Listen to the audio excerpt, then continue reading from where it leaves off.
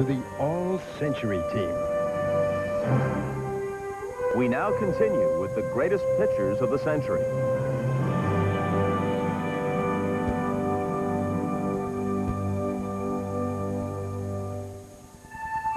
They called him the Big Train, Walter Johnson, and he was unquestionably one of the greatest pitchers of all time. Maybe the best. If you've had the privilege of seeing old clips of Johnson throwing, it's amazing that he could pitch over 90 miles an hour with that easy sidearm motion. But because it was so easy and so deceptive, batters at the time said that all they could do was hear the ball as it whistled past their bats. It just kind of exploded. This amazing achievement will probably never be approached. Johnson has more shutouts than the top three active shutout leaders combined. Walter Johnson, as far as I'm concerned, was the greatest pitcher in baseball history. In my opinion, and the opinion of many others, he accomplished more for his teams than any pitcher in the history of the game. Physically, I'm going to try and beat you. If that fails, my mental part of the game takes over. And if that is all falling apart and that's not happening, my emotions come into play. And I've been emotional times on the mound. I'm trying to elevate my game. Clemens has set a major league record for strikeouts in a game.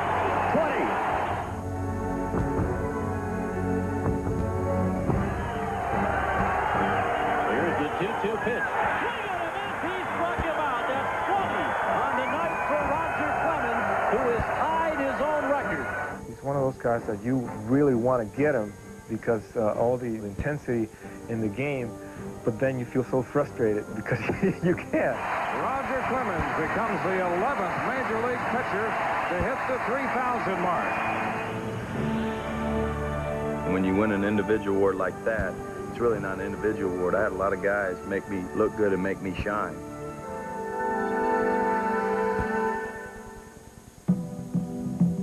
Warren Spahn was pretty special. A stylish left-hander. If anybody ever fit that description, it was Spahny. Not only with the array of pitches that he threw, but he had a, a classic wind-up and a great pickoff move. Spahn was by himself. You know, he won 363 games, and he won 20 games 13 years. You know, that's almost unheard of. Though he didn't get his first win till age 25, Spahn pitched for more than two decades and with each passing year, his resolve grew. When I got to be an advanced age, my ball club was thinking in terms of replacing me with a younger left-hander, so it kind of spurred me on.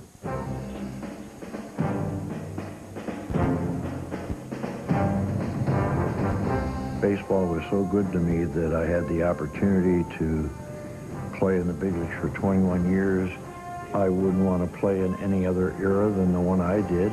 We had fun playing, and uh, I wouldn't change a thing.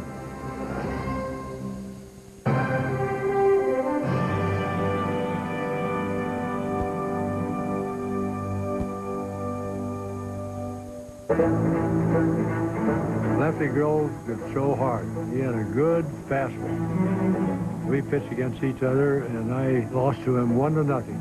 It was an honor. I enjoyed it, every bit of it. Lefty Grove was the most revered and dominant pitcher of the 20s and 30s. Lefty was one of a kind. He was overpowering and such a vicious competitor.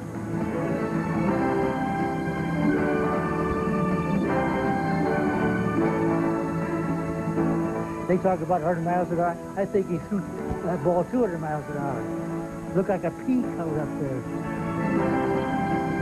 Lefty Grove won nine ERA titles in an era which was very heavy on offense, where entire teams batted 300 in the 1930s. If I was going to pick one left-handed pitcher in baseball, he's the best I have ever seen.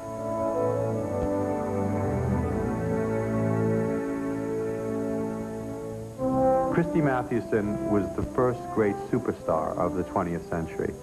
Because he had gone to college, he'd been an All-America football player at Bucknell, because he was tall and good-looking and, and blonde in an age in which photographs were becoming increasingly important in American society, Mathewson made the game respectable. His speed and pinpoint control made Christy the National League's top pitcher in the early 1900s, a fact his numbers reflect.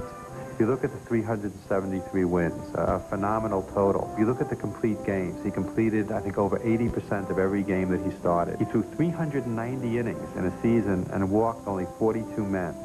He started 11 World Series games. He finished 10 of them.